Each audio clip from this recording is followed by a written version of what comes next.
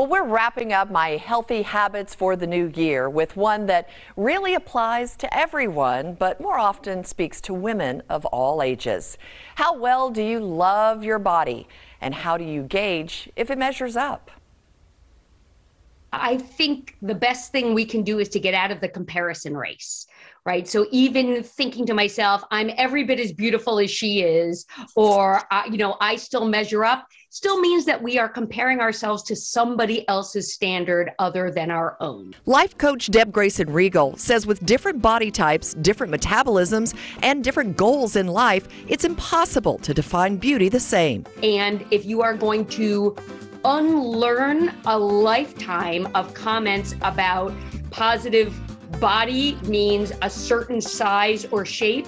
You've got to be really patient with yourself and expect there to be setbacks along the way. Riegel says if you have doubts, try to analyze the internal feedback you get when you see your reflection. So, when you look at yourself in the mirror, ask yourself what you're feeling. Am I feeling disappointed? Am I feeling ashamed, embarrassed? And be willing to, to name it and then see if you can replace it with a more helpful, healthier thought.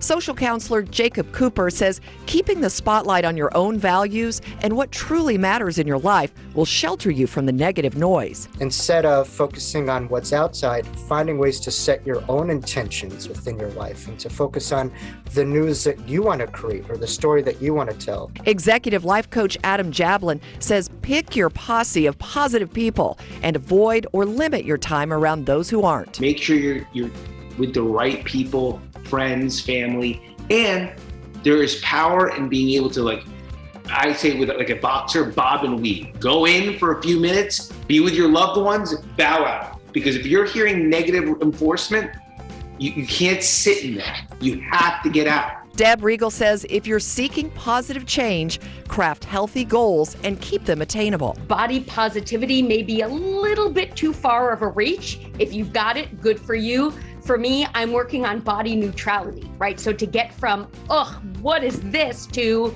this is me. She urges ultimately, as you train yourself to love who you are inside and out, always try to set yourself up for success. I can get some new clothes that make me feel awesome, is probably a healthier thought.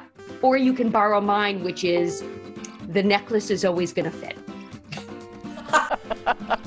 Great piece of advice. The necklace does always fit. Well, all of the life coaches that I spoke with say staying away from the negative influences of social media and the glam magazines help a lot too. Some great advice there. It's not always easy to give yourself positive body talk. John, Heather? Wow.